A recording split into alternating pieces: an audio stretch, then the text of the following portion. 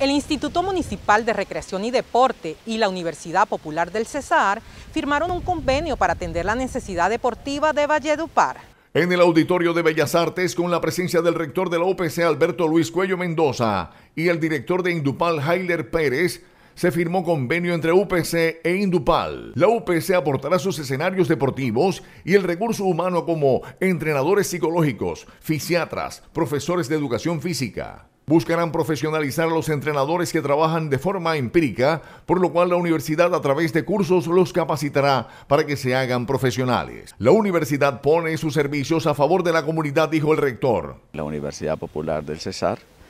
para brindarles nuestros servicios a toda la comunidad y a todos los deportistas eh, directores y todas las personas que de una u otra manera tengan que ver con el deporte en el municipio. Más o menos nosotros tenemos en eh, la licenciatura en educación física unos 240 estudiantes y esos 240 estudiantes pues van a interactuar con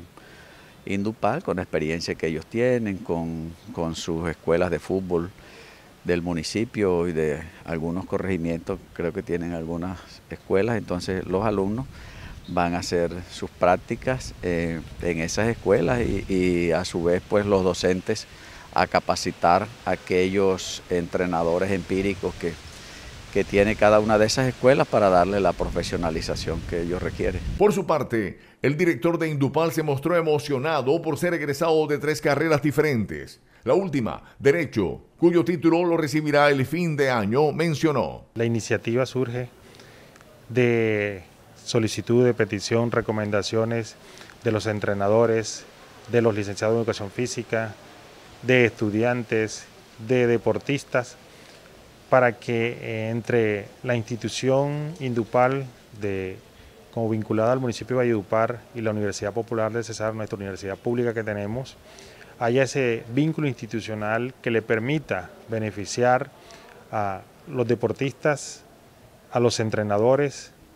a quienes se quieren capacitar, a quienes quieren realizar investigación, porque eh, con el fin de beneficiar a, la población de deportistas y entrenadores y docentes del municipio de Bayupar.